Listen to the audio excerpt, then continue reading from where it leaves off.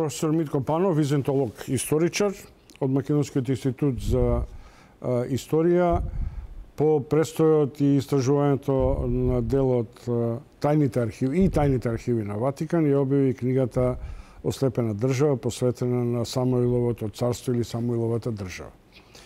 А, тоа што го сведувам на нивото на дневна реакција, а произлегува тоа од каде папата и Ватикан толку сакаат и, и има желба да дојдат во оваа мала Македонија, која е инаку христијанска, ама е православна. Го поставам прашањето што е тоа што како историска вредност, историска традиција, исконско исконски интерес беше папата да дојде во Македонија. Има за тоа мистерија или има за тоа некои други назнаки? Па добро, тоа веќе нели е во сфера на спекулација. Јас можам да кажам како што спомнав и предходно, оној логичен след на историски традиции кои што го врзуваат папството со овие простори и влијанието негово. И е, само она што го, се осврнавме на Кирил и Методи, нели папството потоа по смртта на методи нели го санкционира тоа едноставно го го укинува како што и Моравската архиепископија на на методи е укината а со тоа подоцна и самата држава Моравска. Едноставно папството го санкционира она што предходно го легитимирало веднаш по смртта со политички по смртта на методи од политички причини веројатно.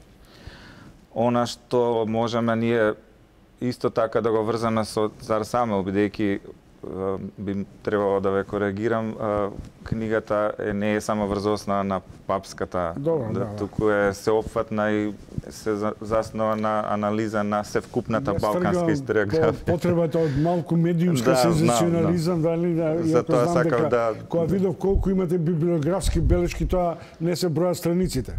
Така да, папството во контекст на она што го спомнавме уште од апостолските времиња и она што го спомнавме исто така во контекст на Илири, Кирил и Методи и, и слично, се одрази и во посетата на папата пред известно време, скоро, во Бугарија и во Македонија, бидејќи она што можевме да го видиме од официјалните сообштени или беше дека се осврна во Бугарија на Кирил Методи, меѓутоа ги нарече нели византици, а во Македонија се осврна на апостолското христијанство и на почетоците нели Македонија како врата на а, христијанството, алудирајќи нели на апостол Павле и мисиите кога првпат нели а, во Европа е посејано христијанството.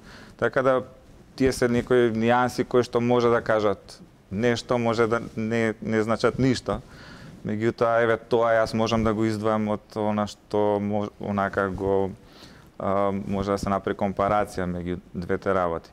Меѓутоа, околу само има друга тенденција од а, римското папство, а тоа е како што ја спомнав на почетокот преписката меѓу а, Калојан, а, бугарскиот владател Калојан, кој што ја формира кој што ја наследува втората бугарска царство и Инокенти трети папата кои што разменуваат повеќе повеќе писма во кои што Калан се повикува на некои традиции дека мислам се повикува ги измислува тие традиции се со цел да обезбеди легитимитетот папството. Значи почнува дека неговото семејство било од Рим па понатаму оди до традициите дека папството било а, инволвирано во крунисувањето на Како цар Самуил да. го обезбеди декретот за својата круна од папата? Па тоа е тоа mm. на тоа на тоа одам, значи во, во единствениот податок за кој што дознаваме дека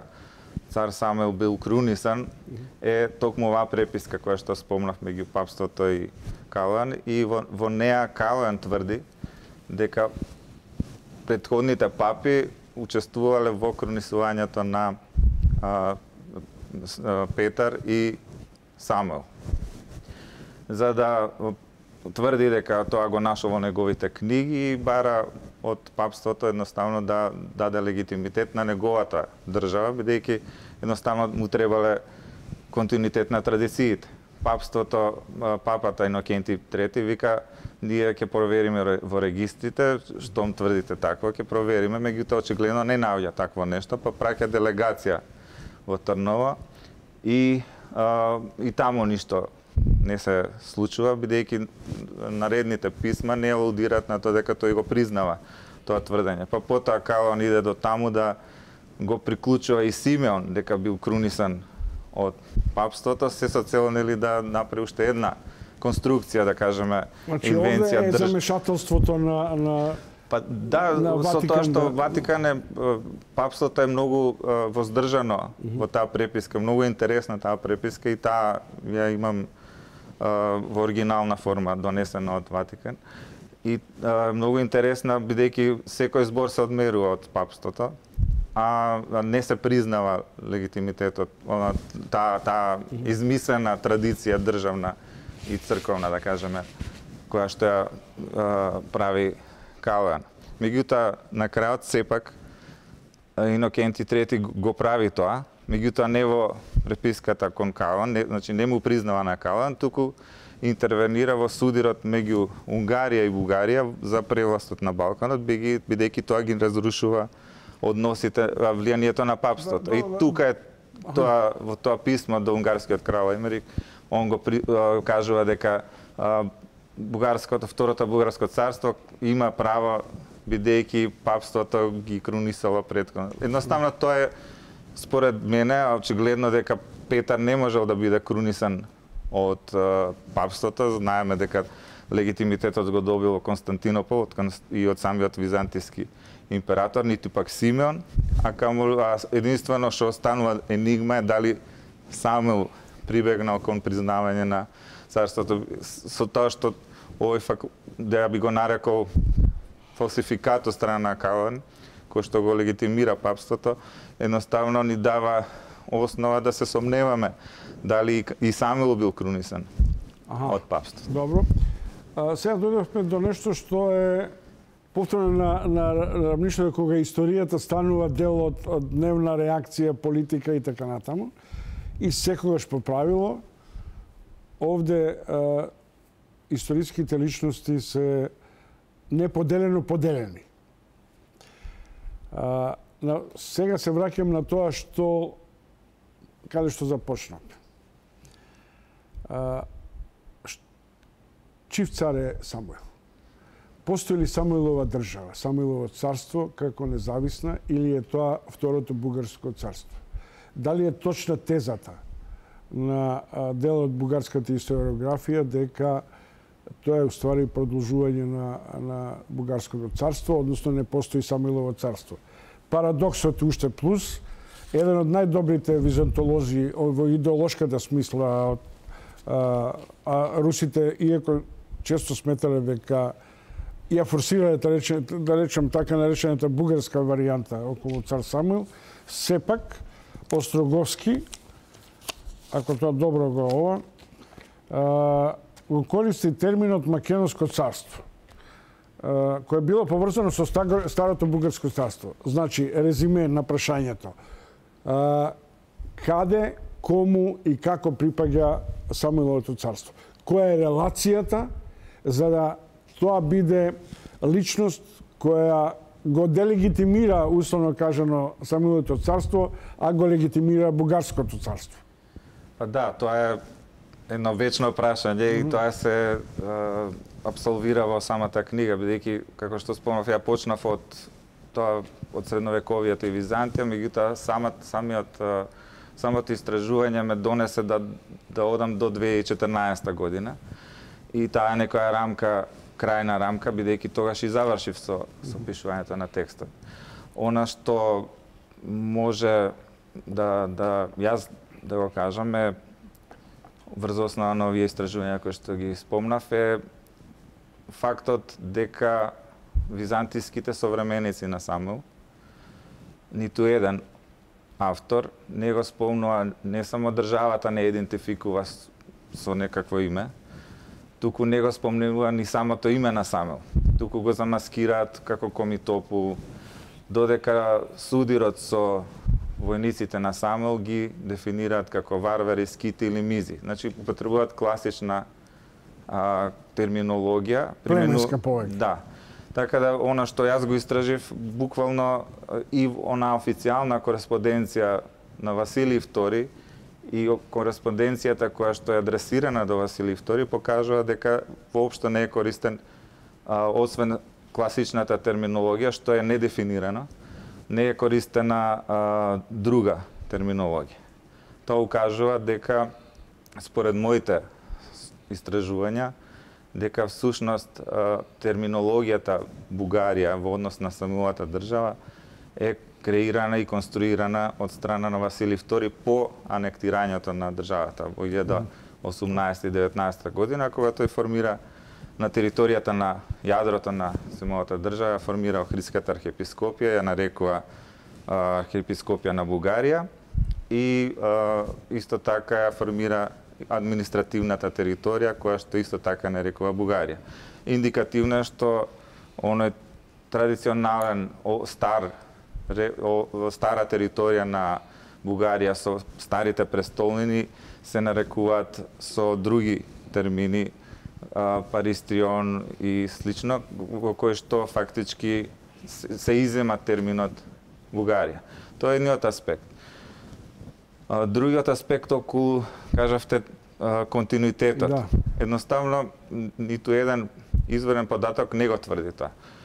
А, можеме тоа слободно да кажеме, како што спомнав, ако ги ис, исфрлиме сите тие интерпретации, дојдеме до она што реално изворите го кажуваат, реално, во сурова форма што го кажуваат, покажува дека едноставно тоа е интерпретација на историографите од подоцнежен период, од 19 век па натаму, кон кој што се придржуваат и Острогорски, кој што, иако ја дефинира државата како, како македонска, меѓутоа тврди дека Самел се повикувал на бугарските царски традиции за да го легитимира собственото царство. Меѓутоа, она што во изворите стои, тоа не се тврди така. Едноставно во, го немаме тоа. Ако сте истражували до 2014, нели? сосема е известно од она што сум читал кај вашиот татко и кај Антојак е дека а, во еден период цар Самуил како да беше заборавена личност. Дури ни бугарите, камо папите и така натаму, се ми се чини, од она што ја памтам што сум учил, до еден момент кога малку илинденците не го воскрсна, а, а на индиректен начин и астомската линија на Самуиловото царство се појавува во некаква модерна верзија. Зошто е тоа така? Значи, а, она што а, е придонес на оваа монографија е тоа што за прв пат се засегнуваат не само овие прашања кои што се, да кажеме, горе жешки прашања во историографијата во балкански рамки, се засегнуваат и, и токму оние традиции кои што ги спомнав. Традициите, односно, после ликвидирањето на Византиската империја, едноставно во литературната традиција отсутствува само. Она што е карактеристично е дека култот или само неминовно се врзува за Охрид и Преспа, бидејќи самите култови околу Свети Владимир, зетот на да. само и Косара, Косара таа да. легендата да. која што се шири на Балканот mm -hmm. и преку неа фактички продира новиот бран на преку Мавро Орбини новиот бран на реактуализација на на Самуил, меѓутоа во сосема друг контекст. Зборам за Мавро Орбини, тоа е почеток на 17 век. Значи во тој вакуум период можеме само да констатираме дека да, само живо традициите во, во она јадро каде што е била неговата држава, бидејќи мора да се истакне еден феномен, е тоа што Самуел имал тенденција да маркира територијата. И тоа маркирал преку, на, преку христијанството, односно преку црквите. Значи, јужниот дел го маркирал со Лариса и нели го пренел култот во Преспа, Нахил. Од Котор Свети Трифун се знае исто така дека го негол како култ, бидејќи ја маркирал таа територија нај нели најзападната територија која што освоил. За источниот дел, зборам за современа Бугарија, немаме такви информации дека нешто се повикало за некакви а, христијански традиции од а, тие престолнини предходни на бугарското царство, туку имаме податоци дека може би маркирањето на територијата одело кај Струмица, бидејќи таму има црковен храм кој што се поврзува со со неговото владење. Така да ако земеме дека тој го маркира овој простор, едноставно по, алудирајки на неговите воени способности и очигледно и дипломатски и секакви се вкупни способности едноставно можеме да да да констатираме или да предпоставиме дека тој воопшто и не ни барал признание. Од Константинопол сигурно не барал. Да се вратиме на мојата теза да. на почетокот, бидејќи има многу 10 века правиме моја, да. нели, тоа ќе треба уште три книги овде да покажам. А, меѓутоа дали да речем условно модерна Македонија воскрснувајќи го Самуил ја воскрснува битката и ревалитетот меѓу Скопје и Софија посткомунистичка за тоа кој располага со наследството на Самуиловото, односно на Бугарското царство. Па да, и од тука да. почнуваат новите конфронтации наместо историографија, настанува политичка битка. Така како што спомна, во 17 век се реактуализира Самуил во контекст на легендата меѓу Владимир и Косара Керкамо, меѓутоа тоа е во контекст на обидите на Охридската архиепископија преку легендата да го легитимира влијанието или юрисдикцијата на просторот на Балканот. Тоа што е судирот меѓу Печката патриаршија и Охридската архиепископија и логично е дека се бараат херои од средновековието и тука е вклучен и Свети Владимир. Меѓутоа во таа легенда да кажеме се вклучуваат и Немања како негов а, и Симеон нема некако негов татко, Симеон како на Владимир а, дедо, така да тие се тие конструкции кои што проявуваат во целиот овој период за кој што зборуваме. Она што е карактеристично е дека а, токму Мавро Орпини и стематографијата на Жафаровиќ, која што е направена по нарачка на Печката патриарша, влие на природбениците во 8, крајот на 18 почетокот на 19 век, да ја, го воспримеат Самуел во негативна конотација или пак да го занемарат, затоа што во стематографијата не е спомнат Самуел, не е наведен во представите Самуел, а потоа во средината на 19 век, благодарение на Русија, се иницира реактуализирањето на на владењето на само и тоа е поврзано со пансловенскиот проект mm -hmm. на Русија, бидејќи тие испраќаат тука мисионери низ Македонија, како има еден случај Архимед Дитрот Антони кој што специјално доаѓа тука да најде податок кој што ќе покаже дека Самуел бил словен или бугарин, да кажеме, mm -hmm. во тоа време меѓутоа има при, а,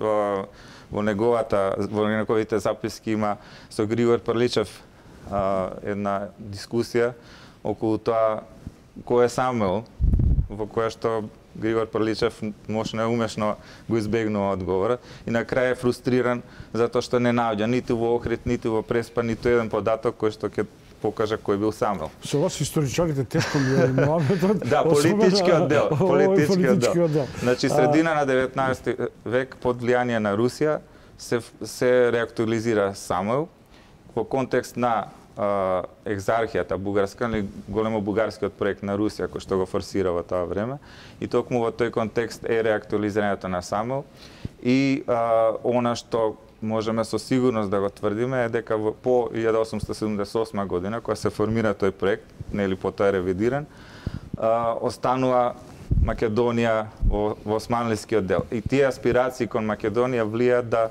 не само Бугарија, туку mm -hmm. и соседните држави, Србија го присвојува само. Србите го прават а, српски, бугарите го прават бугарски и како што спомнавте во том контекст на елиденците mm -hmm. и Крсте ми, а, Мисирков со него се веќе се издигнува Самуел на на она ниво дека од него време потекнува нацијата и државноста со тоа што претходно знаеме дека Александар Македонски и Филип се митовите за нашите македонските преодбеници. Значи со со Илинденското востание со Мисирков се менува тоа и веќе а, Самуел влегува во таа матрица на нацијата македонска. Сега за почетокот. Во Софија, мислам дека на крајот на февруари, македонските и бугарските историографи цитирам уште еднаш дека договорија заедничко чествување на Климент Охридски, Наум Прасловски, како и на цар Самуил, како значени личности во нашата заедничка историја од времето на средновековна Бугарија.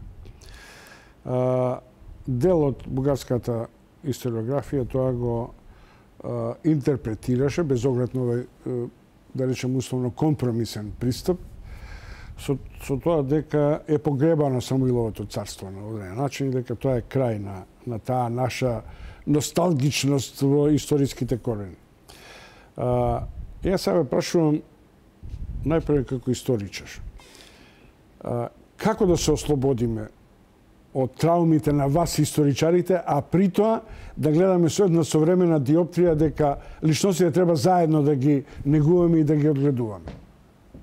Па јас сметам дека Самел како култ и како личност е негова не само во бугарската историографија, македонската, туку е и како што спомнав преку Владимир е жив и во хрватската и во српската историографија.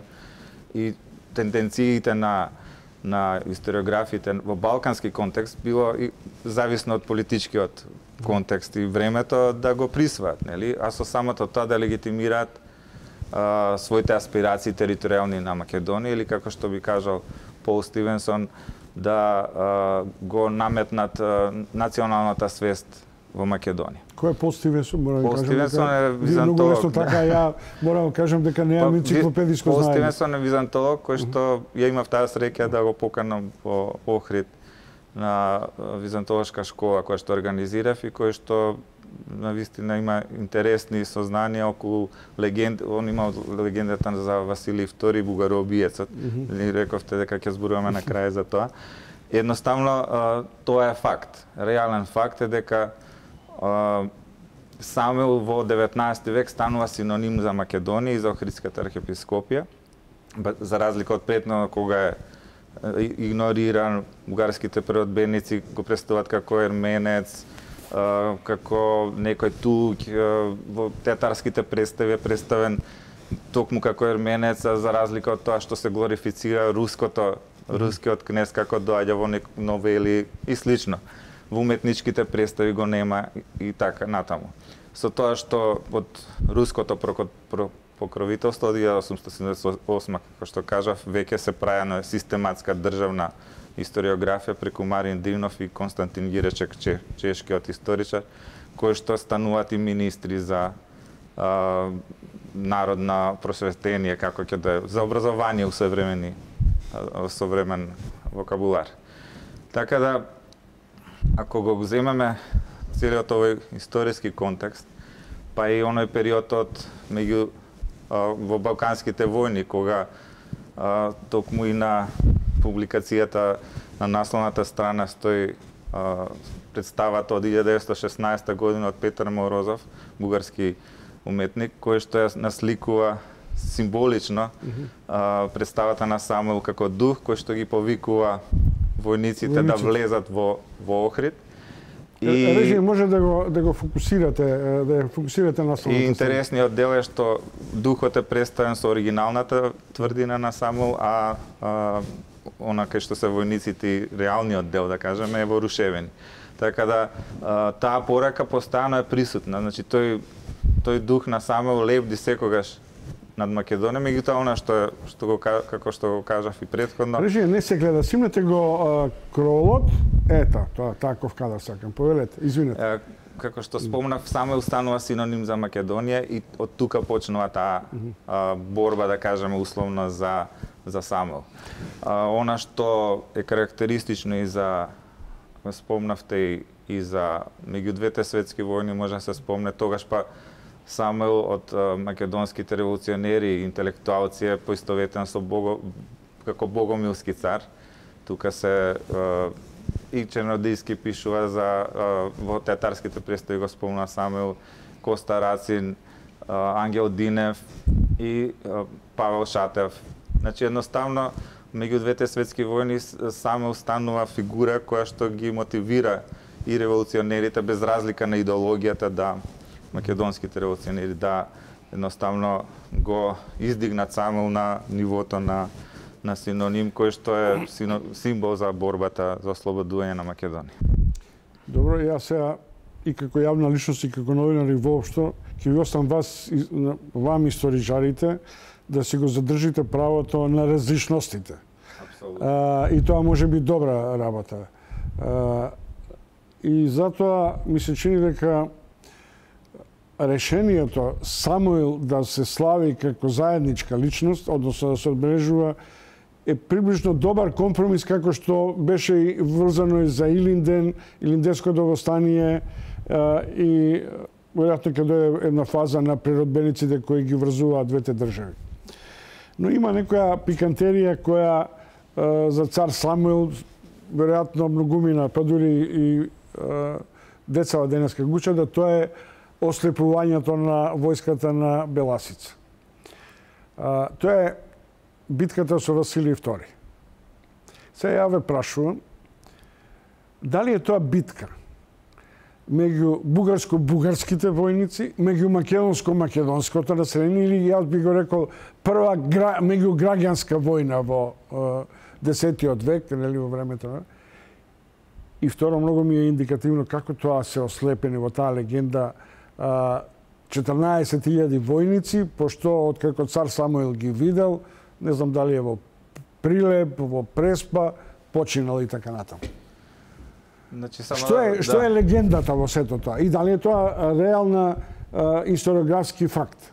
Само да се надоврзам, да. не го оставивме одговора на прашањето околу заедничката да, историја. Да, да, да, извинете. Значи, а, она што може би представ...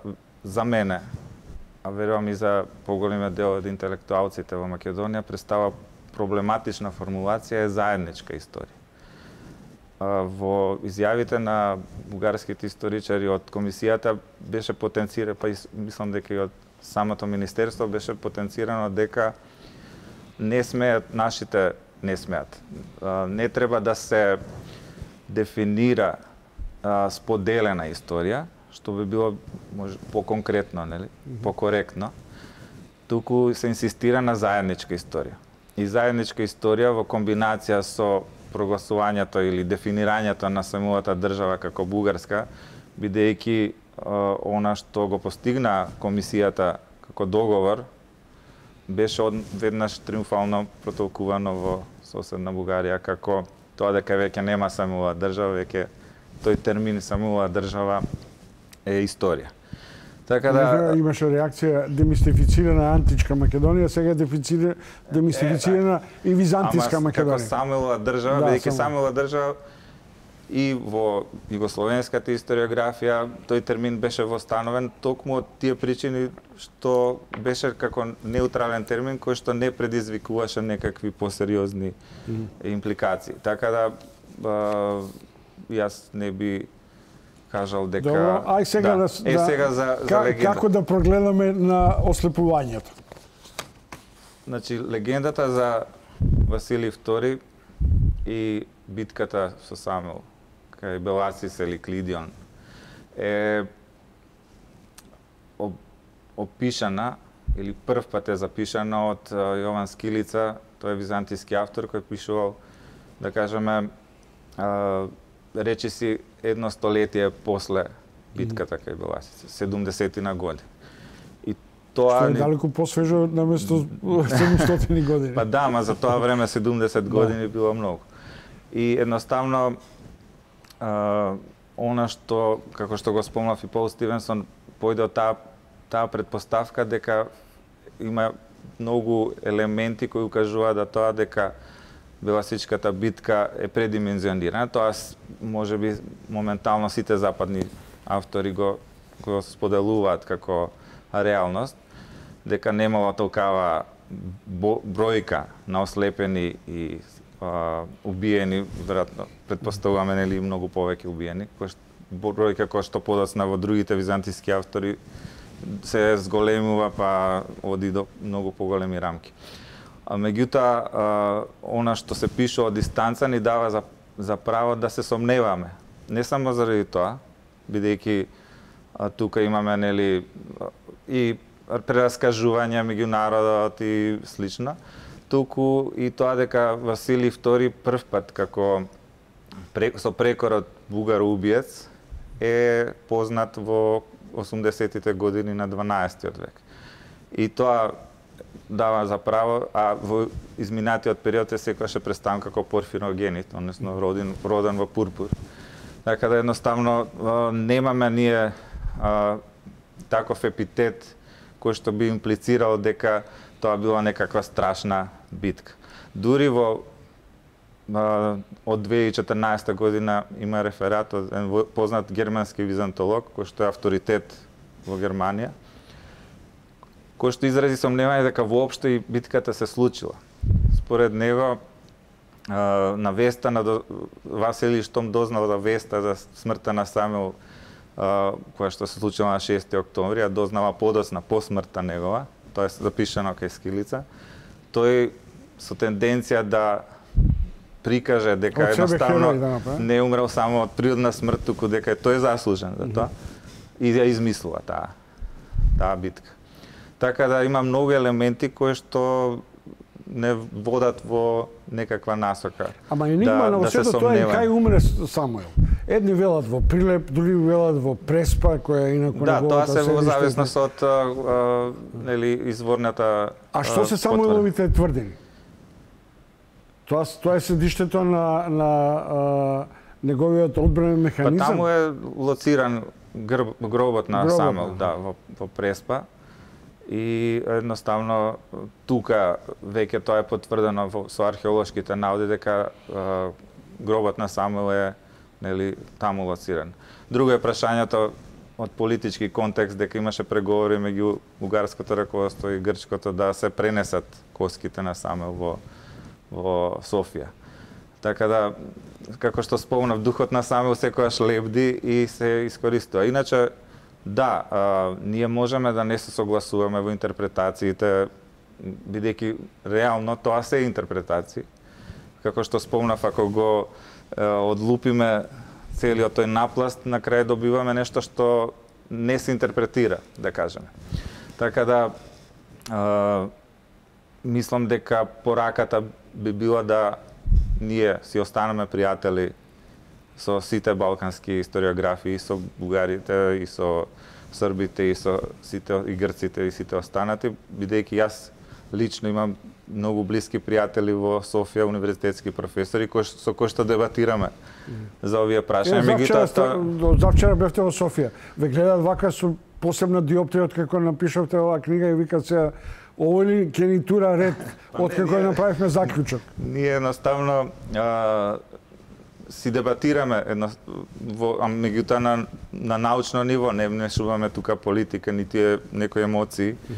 Едноставно тоа го тргаме на страна, емоциите си ги задржуваме за пријателството. Така да тоа не треба да ги нарушува. Бевте во Ватикан, бевте ви се, ви се достапни историографските факти да речем во Бугарија врзани за Самуиловото и па за да? Таму, таму јас ги истражував претежно природбениците, револуционерите бугарски, сите тие аспекти кои што нивните нивните дела во кои што се се гледа таа променливост на интерпретацијата на како се доживува Самуил. На пример Иван Вазов, познатиот поет во Бугарија, кога првата представа за Самуил е изложена во Пловдив и тоа од чешки автор Емил Холак, каде што само битката на Беласица е представена, меѓутоа само е представена во зима, во зимно време, а битката се случила нели летно време. И тој констатира дека ова непознавање историско и слично.